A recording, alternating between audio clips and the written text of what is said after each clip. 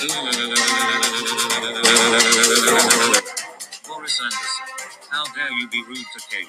He did nothing and behaved so good. I have no choice but to report you. That's it. You're grounded for 1 hour and 11 minutes. If you tell me to shut up, I will also tell you to shut up. And don't ever give anyone a punishment day anymore. I had enough of you.